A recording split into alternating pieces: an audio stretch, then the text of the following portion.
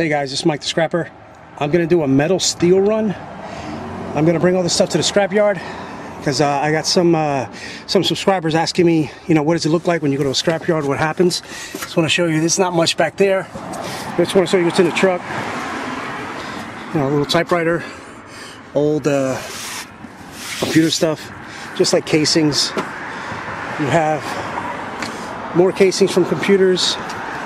This little van holder. This, I, I don't want this. I don't want to keep that back in there. You can't see deep in the box, but there's like this huge box of nails and whatever else I put in there. If you can see that in there, you know this is it's pretty heavy. All right, guys. So once I'm done, I'll let you know what's going on.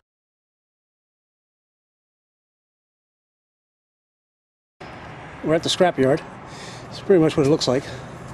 Nothing but scrap. big machines, all that stuff. This is the um, one of the scrap yards that just they take ferrous and non-ferrous. This is just the uh, ferrous side. As you can see, all those big tanks and all that big machinery here. All right, now we're gonna go get paid. Let's see what we got. All right, guys. So I'm back. This is what I got.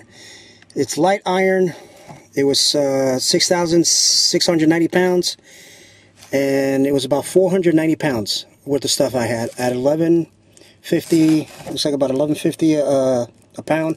I got $56.35. It's just gas money. All right, guys. I'll see if I can get some more stuff.